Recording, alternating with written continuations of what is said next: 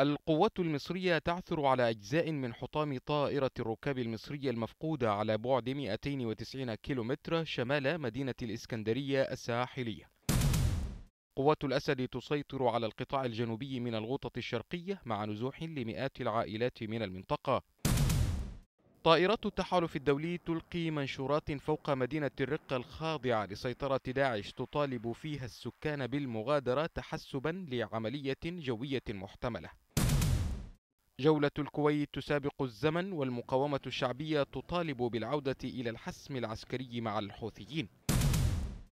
انطلاق عملية عسكرية لاستعادة الشريط الحدودي بين العراق وسوريا والأردن امتدادا من قضاء الرطبة ومنفذ طريبيل وصولا إلى منفذ الوليد غرب الأنبار.